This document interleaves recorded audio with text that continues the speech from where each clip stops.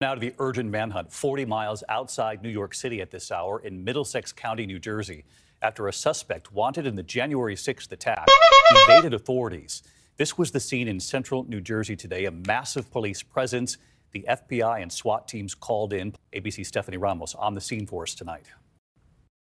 An all out manhunt tonight in this small central New Jersey town just 40 miles southwest of New York City after this man, wanted in connection to the attack at the Capitol on January 6, evaded arrest. Gregory Yetman fleeing on foot into the wooded area near his home. Police searching from the sky and on the ground.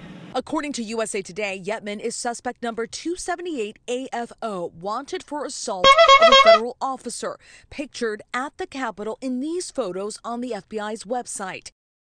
In an interview earlier this year, Yetman indicated he was at the Capitol that day, but said he did nothing wrong. The FBI leading the multi agency manhunt in the town of Helmetta. Officers in tactical gear, looking in vehicles, teams moving through. There were officers running through everybody's yards, um, asking questions. Even though the sun has gone down, we can still see Joint Terrorism Task Force agents going door to door looking for Yetman. According to police, Yetman is in his 40s, last seen wearing a red jacket and baseball cap. He served in the New Jersey National Guard for 12 years and was honorably discharged in March of 2022.